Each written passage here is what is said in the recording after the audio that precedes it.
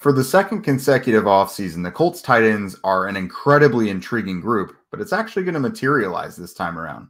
Let's get to it.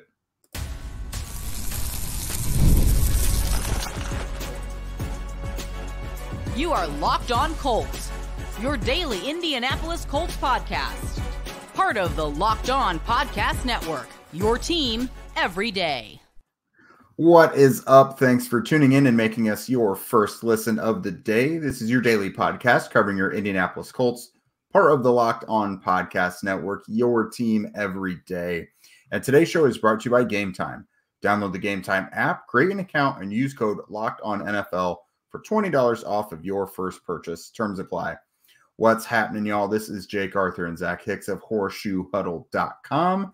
And today we continue our series looking at each position group on the Colts. And today we talk about a really, really interesting group, and that's the tight ends. We had the same conversation last year about how uh, high the potential was and how it might even be the deepest group on the roster. And then everyone got hurt, or there were just circumstances to derail the whole thing. And so we are running it back this year. Uh, I think, again, this is a very intriguing group with a ton of upside. Uh, so we're going to talk about who we think the starters probably ought to be to begin the season, uh, those next few guys that are up, and then how we think this is all going to shake out and kind of go over some different scenarios. Um, you know, training camp is going to ter- determine a lot of this, and hopefully, fingers crossed, uh, everybody stays healthy enough to see this all come to fruition. Uh, so, Zach, we're going to start out first with Jelani Woods and Kylen Granson. Uh, Granson is the guy that he kind of does a little bit of everything for the Colts right now. Good enough at a lot of different things to be able to stay on the field quite a bit. And his 496 offensive snaps last year led all of their tight ends. Uh, that was 43.2% of the offensive snaps last year. Uh, Jelani Woods is obviously they're they're not projecting to be Travis Kelce or any big time guy, but if you want a stud tight end who is your playmaker tight end, you got to look at Jelani Woods first and foremost. So, had a nice semi flashy rookie year back in 2022, uh, but he had some uh, really just freak hamstring injuries that caused him to miss the entirety of last year, really dating back to this time last year because he started getting banged up in OTAs, was able to be there for like a couple practices in training camp, and then everything just went off the rails again. So, Shane Steichen is still eh, Steichen and his whole staff are still fresh in their evaluation of him. They're really getting eyes on him for the first time right now, like he's a rookie. So you're seeing this big, you know, 6'7, 260 pound freak, and it's probably pretty cool to see. I know Shane Steichen talked a bit about it the other day when we were there. Uh, but I'd have to say Woods and Granson are who you hope to come out on top in training camp. Is that is that what you would agree with? Yeah, I think so. I mean, I, I think it's easy to project Granson to be in like that starter or like pseudo starter type of role, like in two tight end sets, uh, because he's the guy, like you said, you can do the most with. Now, he's not a great blocker. Like, I'm not going to sit here and say he's some even average blocker. That would be me just being hyperbolic, hyperbolic here, saying that he's even an average blocker. It's not the best blocker whatsoever, but the versatility he brings is you can put him out in the slot, you can put him out wide, you can have him backside in a three by one and have him by himself there, and he can be that separator in the passing game. Uh, he can be a guy who can line up at fullback and line up at the sniffer back and be, uh, you know, doing like a lot of those things that you that you like to see in this offense in terms of the RPO game, in terms of um, the the the trap blocks and, and the backside blocks. So he he does a lot of things for this offense in terms of just where he can align and how he can win from those different alignments. Uh, so, like you said last year, uh, that he had 43% of the snaps on the Colts offense. Uh, he had 30 of his 50, uh, he caught 30 of his 50 targets for 368 yards and a touchdown. I believe the 368 led the Colts tight end room last year as well. Uh, most the most consistent passing target in this tight end room for the Colts. So it's easy to see him being that guy yet again in 2024. Like he's going to be the guy who gets on the field quite a bit, and he had great chemistry with Anthony Richardson. Like we really can't just throw that to the wayside. I know it wasn't always perfect where they were connecting every single time that he was targeted, but you know, Granson was certainly a guy that Richardson felt comfortable going to. So it makes sense for him to be one of two guys that we're looking forward to, you know, having that big role in offense. Uh, but Jelani Woods is the biggest wild card in this group because we just don't know what we're getting out of him. I will say one thing about Woods is when you're really looking at you know this Colts tight end room, you're looking at guys like Mallory and and Granson and Alie-Cox and, and Ogletree. Those guys all have kind of specific roles where like one can be a blocker, one's the veteran in the room, uh, one's the possession guy, one's the yards after catch guy. The one thing they don't have is is a vertical threat. They don't have that guy who's a legitimate threat. You know, where if you're going to put them backside running a double move or or a chair route or you know something kind of vertical, and he's on a linebacker, which one of these guys is going to scare you and make that safety, you know, just book it to get over the top of these guys? I don't think any of those other guys do, but Jelani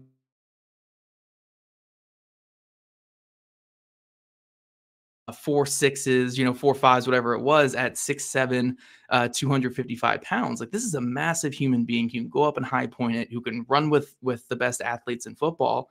Uh, so he's the guy who actually is a threat in the receiving game and a threat to opposing defenses, especially in the vertical aspect of the game. So if Woods can just be that guy, if you can just be the vertical pass catcher, the guy who can get downfield and, and consistently catch the ball, you know, 10, 15, 20 yards down the field, that's a great new element to this offense. Uh, and obviously, if he can be more than that, if he can be your starting tight end and be your, again, I don't want to say like your Kelce's or anything like that, but just like an above average starter, that's a big plus for this offense. So, you know, I hope Jelani Woods can come back from that hamstring injury.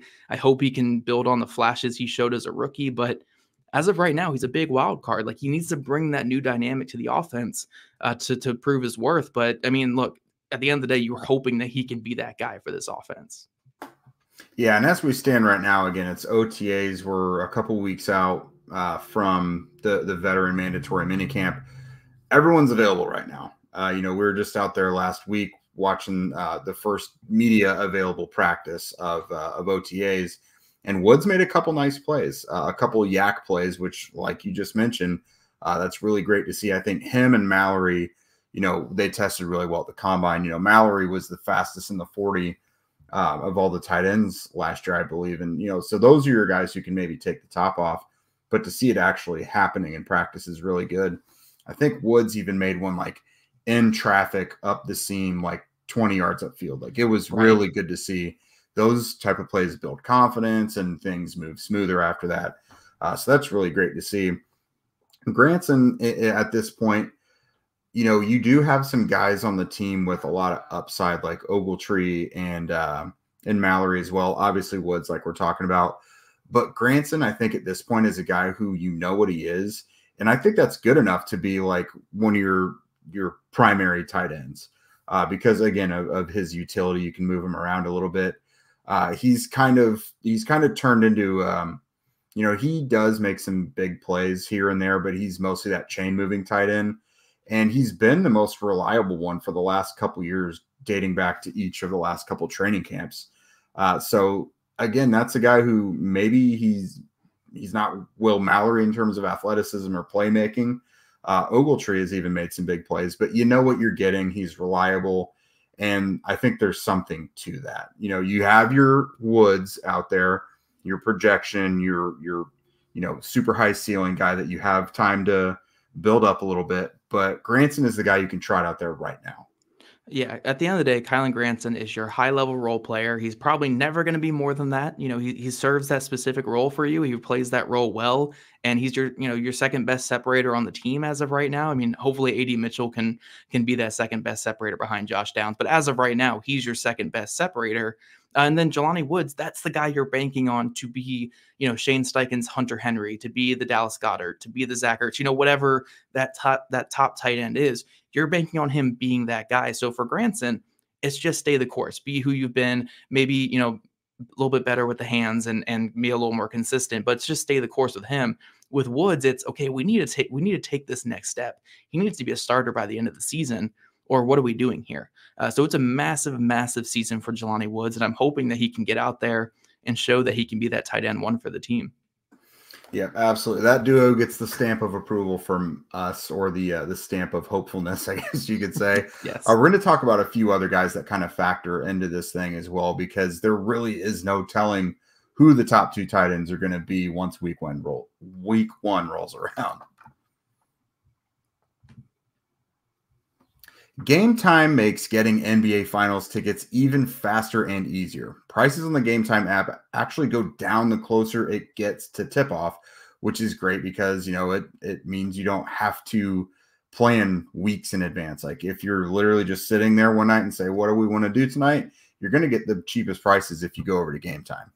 And with their killer last minute deals, all in prices, views from your seat, and their lowest price guarantee, Game Time takes the guesswork out of buying tickets to the NBA. You know, the finals are going to be here really soon.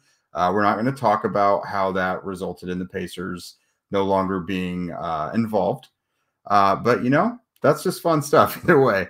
Um, here's some of the best parts about it. You know, they've got those last minute deals we discussed, but specifically, you can save up to 60% off buying last minute tickets for, again, sports, concerts, comedy, theater, whatever and the game time ticket coverage. Your purchase is covered with the most flexible customer service policy in the ticketing industry because life happens.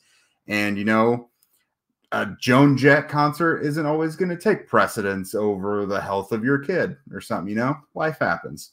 Uh, they've got the all in pricing. If you toggle through this feature, it shows the total upfront with no surprise convenience fees or anything like that at checkout.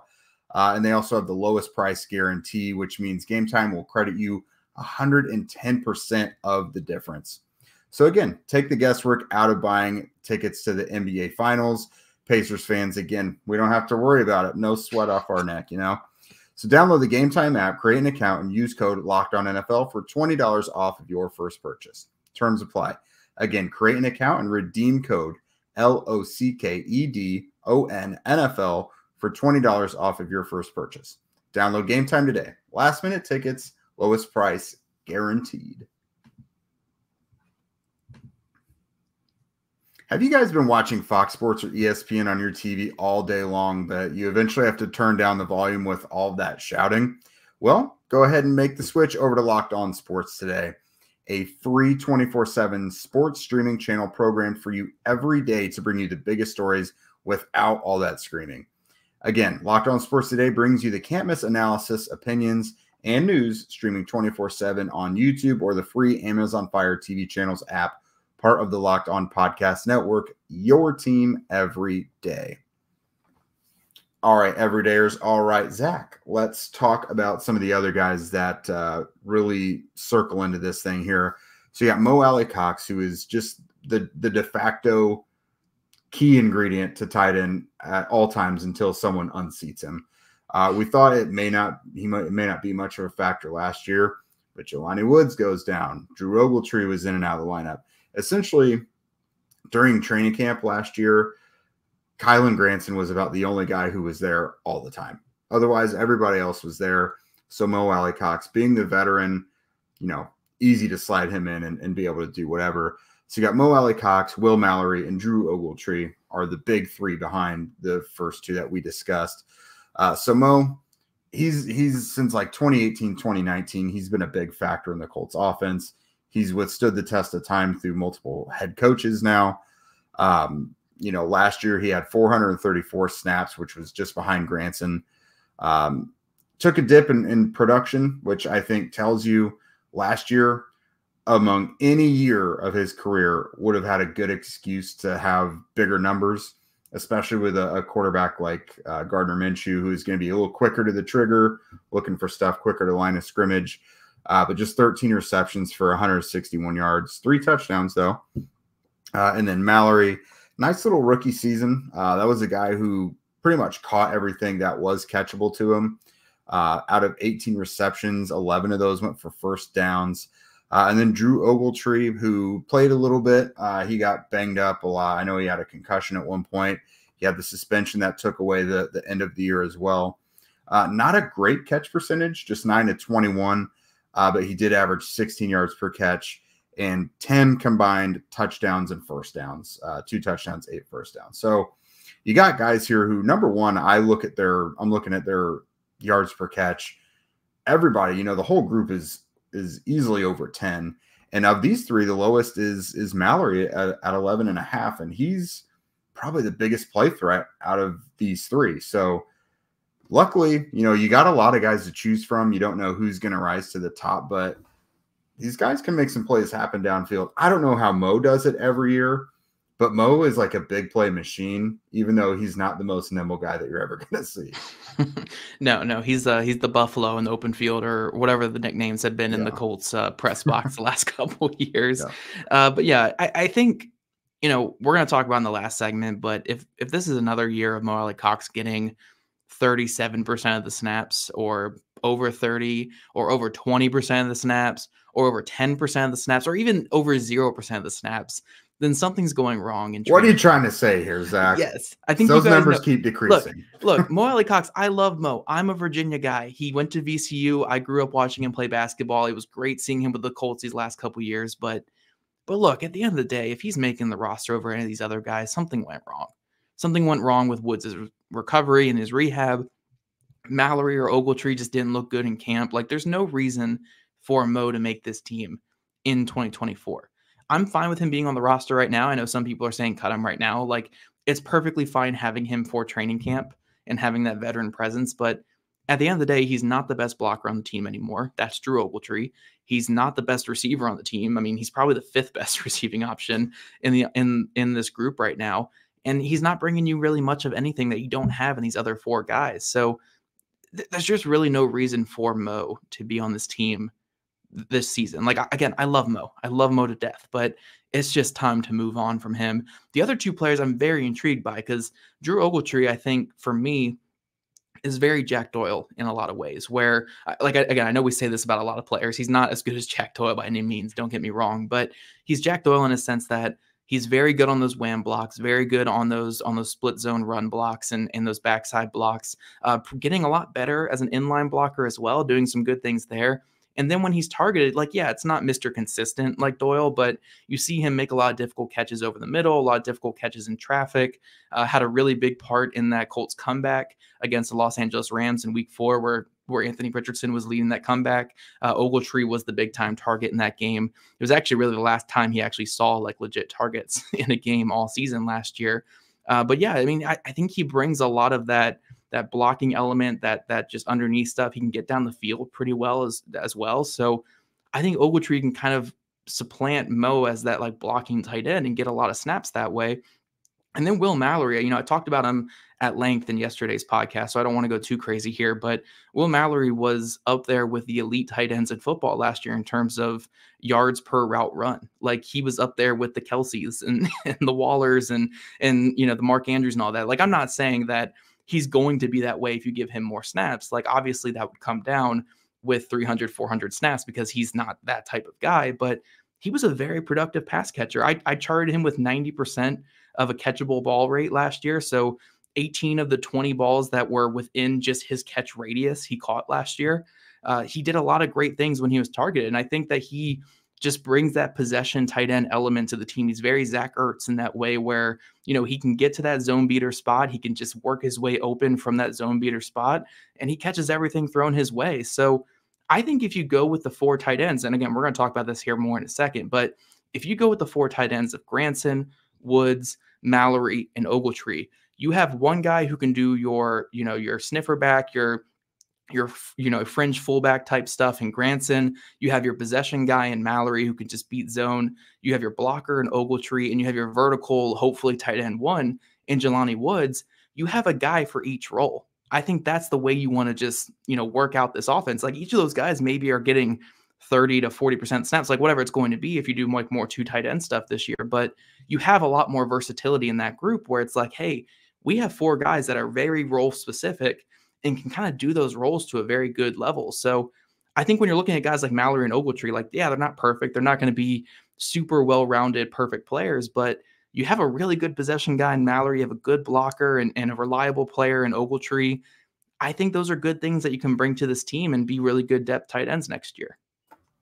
Yeah, I, I think for me, Mallory is the real interesting one here because if you assume he's going to take with health a, a natural next step in his development, that's a pretty good player because as a pass catcher, really reliable in a small sample size. Again, only 159 snaps, but caught 18 of 26 total targets. You said you charted him with 90% of balls he should have caught.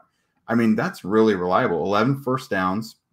Again, in under 200 snaps to have 11 first downs, I think is is really nice. So um, I do think it's that thing you mentioned, the, the zone beater stuff. If him and Anthony develop enough of rapport where Anthony knows, um, you know, Will's going to find this spot here. He's going to just sit right there. He'll he'll find the spot in between the linebackers. I think that will be super super important because, like you mentioned with Granson at the top of the show, with that comfort level, as much as things are schematic with making Anthony Richardson comfortable and everything, having guys out there who can get the job done and that Anthony feels super comfortable with is going to be huge too. So right. we know injuries are going to happen. So as long as Mallory's not a part of it, if he gets enough snaps with uh, with Richardson during during camp, I think he's going to sneakily find himself a, a pretty decent role here. And just like you mentioned, I keep finding myself with Mo as the odd man out because Ogletree, when we saw him in there, he was involved in blocking heavily. And there's just no reason that he shouldn't supplant him there. And then you have those four very defined tight ends.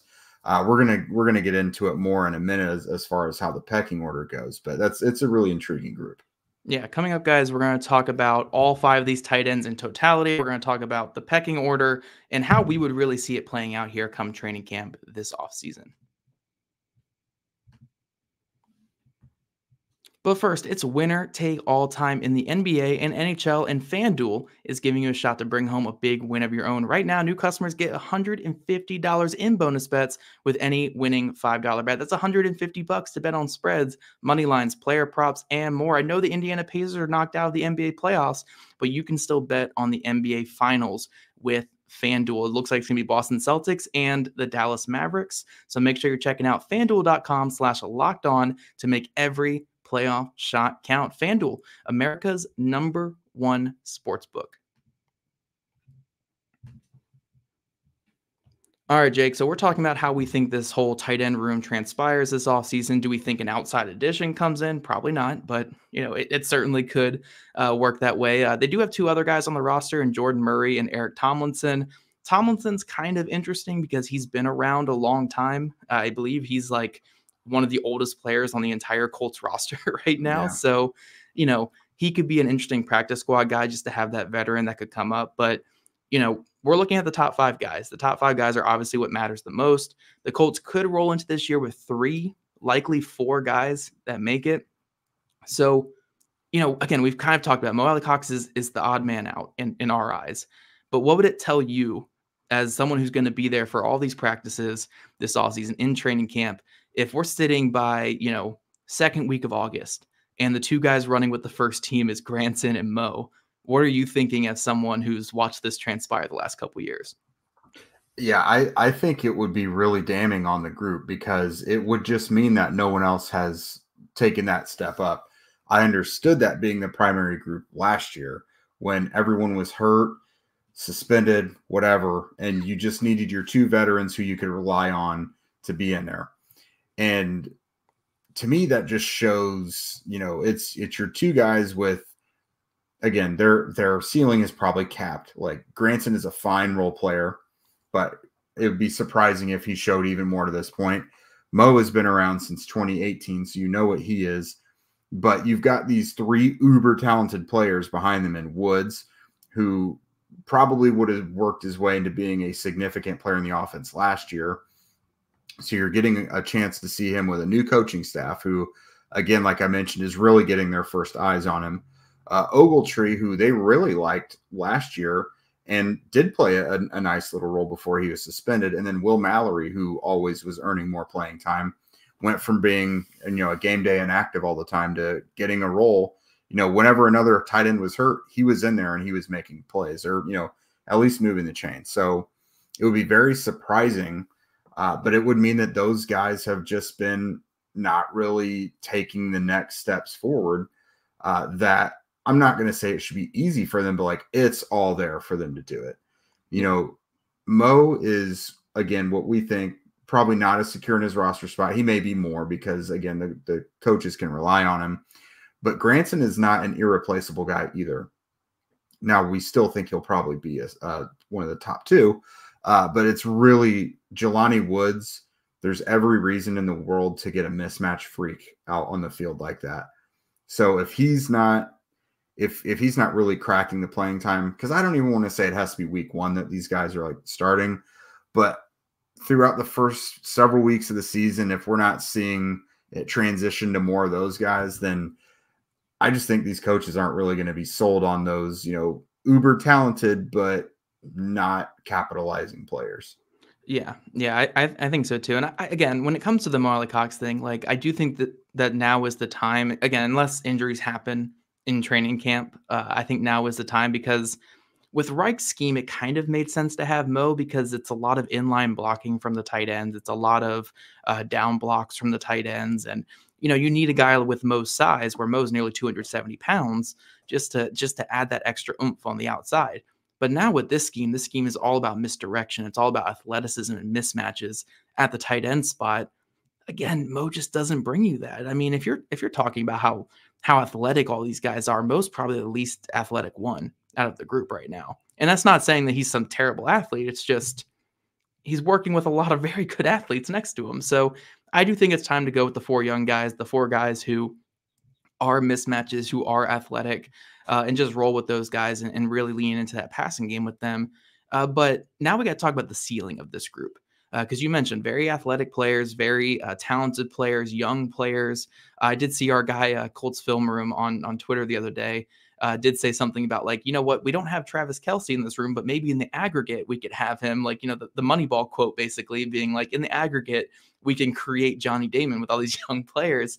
I don't think I can go that far with this room because this room last year, I mean, again, dealt with a lot of adversity, had Gardner Minshew as the quarterback and and kind of a new system. They they barely accro- rarely encroached uh, 900 yards receiving last year. So it, it's hard to say that this group can be the Travis Kelce aggregate uh, when they barely, you know, approached uh, 900 yards receiving. But I do think, again, in a way, these guys all work their roles so well. It doesn't need to be Travis Kelce, but it can be still a very productive tight end room that that complements this receiver room very well. I don't need a thousand yards out of this wide receiver out of this tight end room. I just need guys who can get the job done. If Ogletree this next season has 90 yards receiving but is a very good blocker, that's fine for me. If Mallory only catches 30 passes but 15 to 20 of them go for first downs, that works for me. If Jelani Woods catches 30 passes and and averages 17 yards a catch, whatever, cool awesome. If Kylen Granson catches 10 passes, but they're all like little fullback ca- or whatever he does, what you know, whatever it's going to be, that works for me. Like I, I don't need the aggregate to be some superstar player. I need the aggregate to be good. Like just just to be fine. You know, like let let Pittman Jr. lead the way. Let AD Mitchell, let Josh Downs lead the way in the passing game. Just be productive, don't be liabilities, and complement that group well and and we'll be fine. Like again, we don't need to put the expectation on all these players to be superstars. It's just you know do your role and and succeed in that role. I mean, Jelani Woods is probably the only one with the big time expectations on him right now. Yeah, and I, I think that's what it's going to be because there's a lot of mouths to feed in that passing game. Because I mean, we we talked about we've talked about these four tight ends that are probably going to make it. Last year, there was like three receivers that made it on cut down day. Now, obviously, right. Isaiah McKenzie, they had a plan for that, but now we both think there's a firm six receivers that they will keep. So four is really the number. I think this is going to be super. Number one, it's going to be based on the matchup each week in the defense, um, in specific matchups as well, because uh, there's going to be certain guys with different skill sets that attack each defense differently.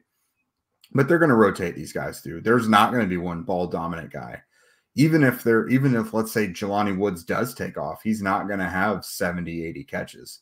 No. It's just not going to happen. All of these guys will be involved in executing their specific role, like you mentioned. That's what it's going to be. Uh, it will be Pittman and Downs probably as the the dominant target guys, but everyone is going to have their role, j- just like in the receiving group. Uh, so I don't think success for the tight end room looks like one guy stepping up and dominating. I think it looks like efficiency and, you know, just not being, like you said, not being a liability when it comes to, you know, okay, we need an important play here. Don't drop it, number one. Uh, and then don't blow all of these, you know, blitz pickups and stuff. Like, right. Essentially doing your job and making decent plays is what I'm looking for out of this group.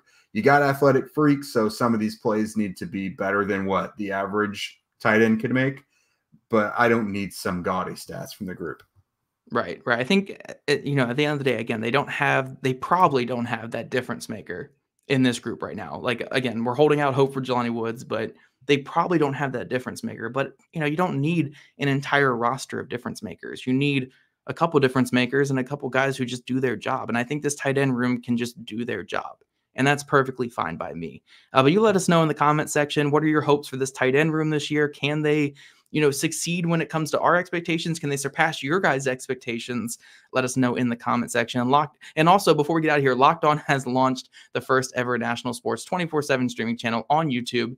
And now it's also available on Amazon Fire TV in the free Fire TV channels app.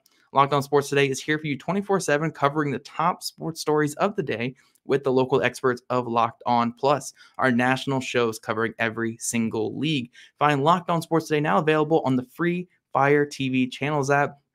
And if you guys don't already, make sure you're following at Locked On Colts, at Jake Arthur NFL, and at Zach Hicks 2 all on Twitter. Also, subscribe to us on YouTube or wherever you listen to your podcast. We love your guys' ratings, reviews, and we'll catch you guys back here tomorrow afternoon.